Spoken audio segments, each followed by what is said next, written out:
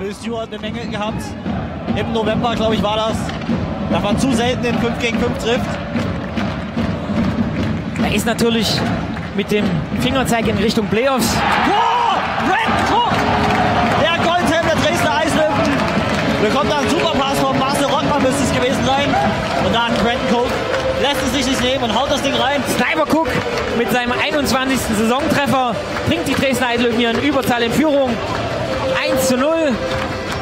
Nein, ich wollte gerade noch sagen, in den letzten Spielen haben mehr die deutschen Spieler getroffen und dann zeigt er genau das Gegenteil. Ja, Brandon Cook ja so eine kleine Durststrecke gehabt. Das erste DL2 Event Game hier in Dresden stattgefunden. Zu Gast damals die Lausitzer Füchse und er war für den Siegtreffer zuständig in der Verlängerung. Es gibt am Morgen auch ein Event hier in der Stadionkneipe. Ja, also wer möchte, kann sich da... Oh, Tor für Dresden! Schmidt. Ja, super freigespielt da.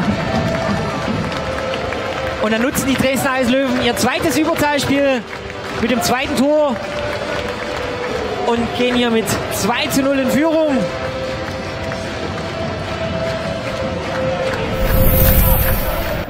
Bestes Beispiel sind ja eigentlich in den letzten Saisons so Marc St. Jean gewesen und Justin Kurz genauso, beide mit Gehirnerschütterung, die ihre Karriere dann beenden mussten.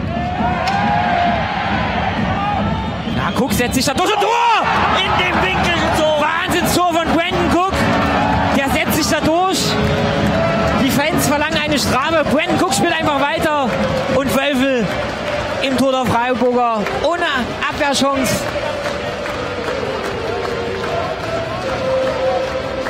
Ich Brandon sagen, Cook mit seinem 22. Saisontreffer. ja, im ersten Spiel des Jahres gegen Kaufbeuren hat man ja das erste Drittel ein bisschen verschlafen. Das machen die Dresdner Eislöwen jetzt komplett anders. Führen mit 3 zu 0 im ersten Drittel. Aber jetzt natürlich wichtig auch. Immer noch Duda aus Schmitz zum Winkel Außennetz.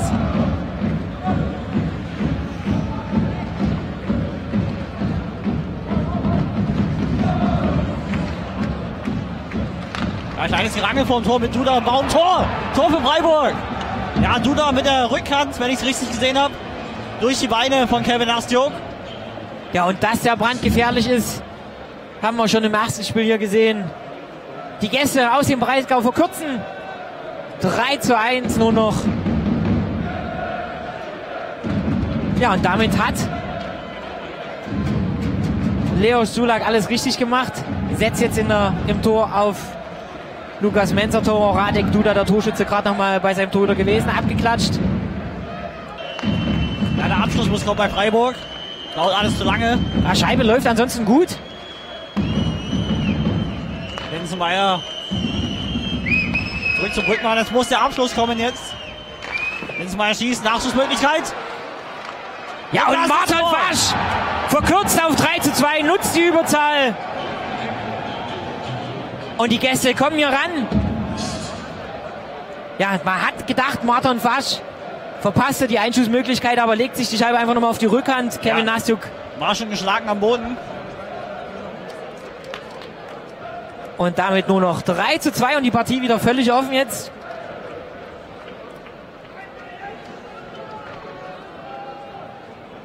ja ins Ausland. In der Regel ging es nach Tschechien zum Eishockey dort schauen und in Kombination dann halt noch ein ERC-Spiel gucken. Und dieses Jahr eben die Reise nach Prag und Dresden. Ja, Prag auf jeden Fall auch immer wieder eine Reise wert. Ich bin da gerne Tor für die Eislöwen. Ja, und es ist ein Ex-Freiburger. Mirko Sacher von der blauen Linie. Ich weiß nicht, ob da Verkehr war vor Lukas Mensator. Auf jeden Fall. Die Scheibe geht rein. Und das 4 zu 2 in der zwei- 42. Spielminute. Wir schauen auf die Uhr. Nein, es war noch die 41. Spielminute. Dresden mit dem vierten Treffer. Ja, und passender können die Dresdner gar nicht aus der Kabine kommen. 20 Sekunden. Zweikampf an der Bande. Dresden kann sich befreien. Ja, jetzt die dicke Möglichkeit hier, ein Empty Net Goal zu machen.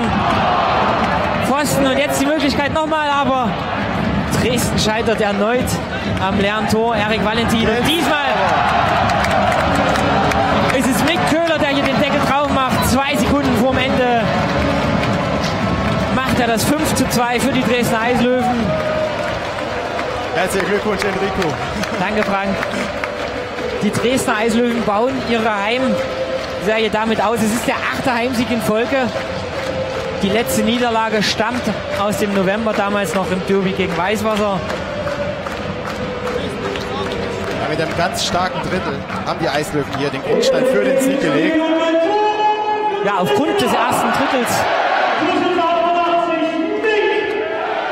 Ansonsten haben sich beide Mannschaften leistungstechnisch egalisiert und auch in meinen Augen drei Tore etwas zu hoch der Vorsprung.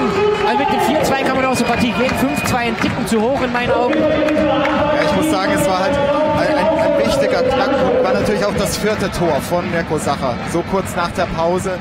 Wer weiß, wenn es länger eben 3 zu 2 steht, wie dann beide Mannschaften taktieren, wie dann die Physis auch eine Rolle spielt.